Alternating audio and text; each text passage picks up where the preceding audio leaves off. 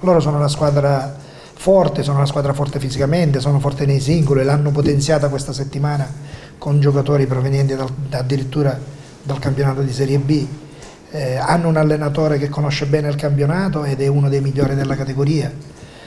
Eh, poi hanno, hanno un giocatore che noi l'anno scorso abbiamo avuto il piacere di avere qua, che in questo momento forse è il valore aggiunto di questa squadra.